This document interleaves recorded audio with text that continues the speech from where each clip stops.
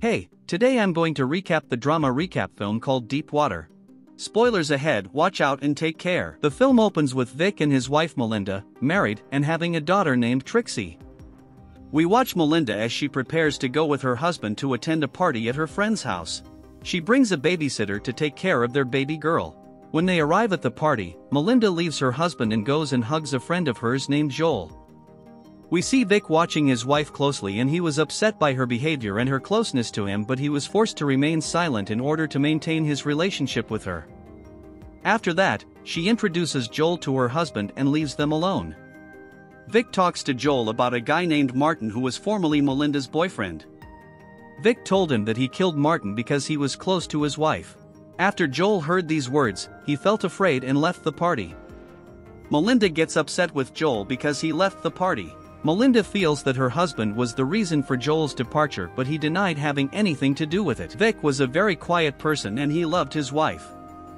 After that, the couple returned home and Vic was giving money to the babysitter while she was leaving but suddenly, he saw Melinda making coffee but wearing inappropriate clothes so he got angry with her and asked her to come back and not do that in front of the babysitter.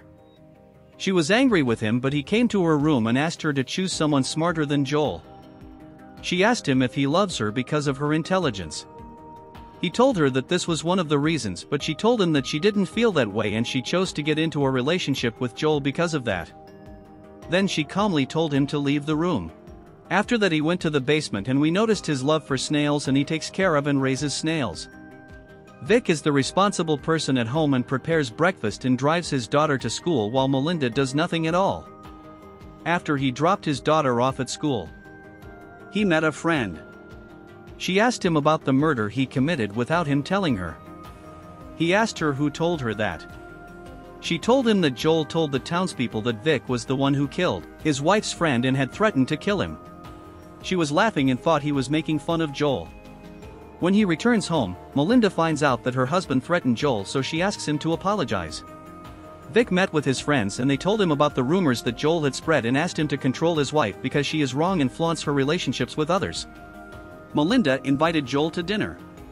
Joel started talking about his new job in and he told them that he would leave the country the next morning. Melinda told him that she wanted to visit Mexico. Joel tells her that he would be happy if she came to his house in Mexico but Vic tells him that he will reserve a hotel room for her and will not leave her alone. After that, Melinda starts talking about her husband's boredom and that she wished he was a normal person. He told her that if he was a normal person, Joel wouldn't be sitting with them.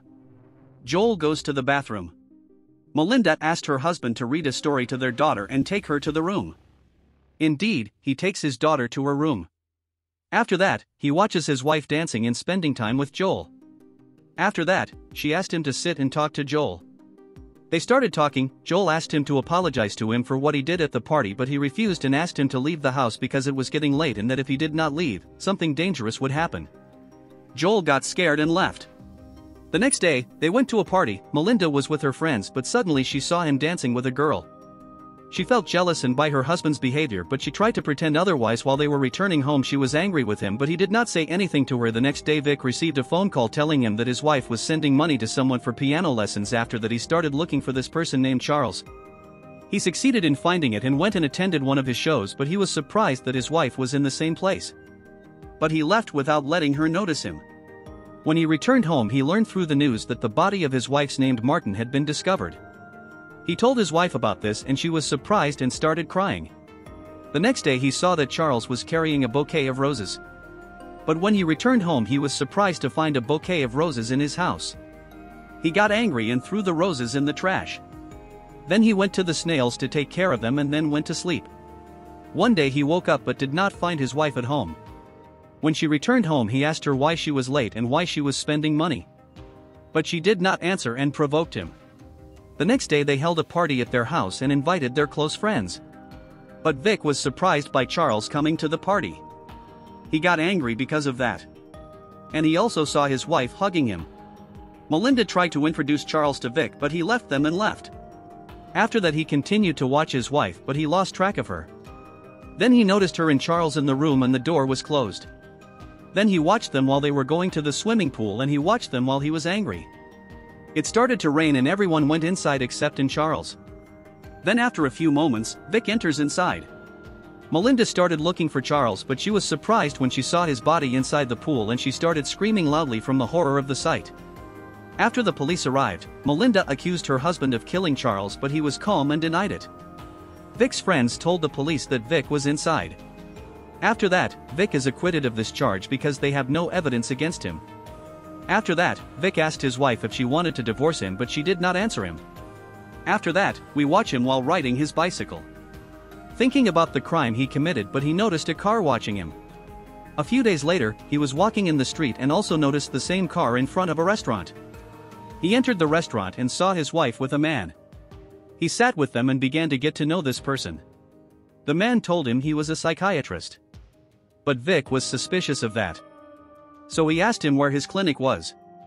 But he told him that he came to the city a short time ago and does not have a clinic yet. Vic asked him to show him his work ID but he did not give him that either. Vic left them and left and after several investigations he made. He went to a guy named Don who was spreading rumors about Vic. He also revealed Don's cooperation with Melinda and she gave them money to monitor him.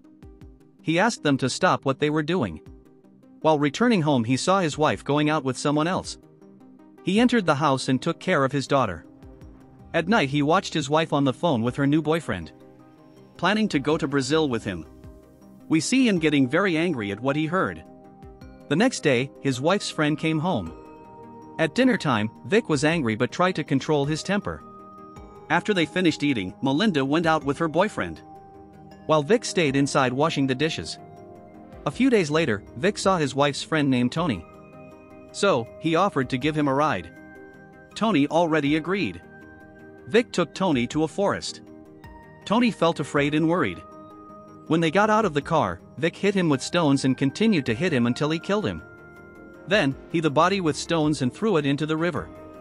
Days after Tony's disappearance, the relationship between him and his wife began to improve.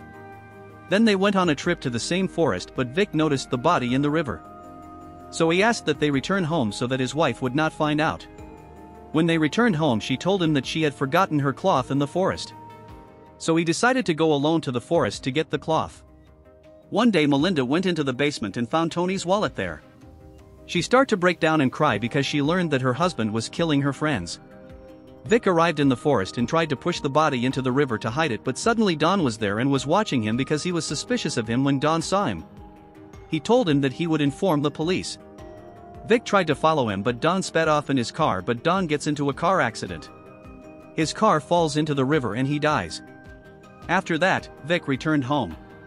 His wife was waiting for him and she told him that she knew everything about him but she decided to leave everything,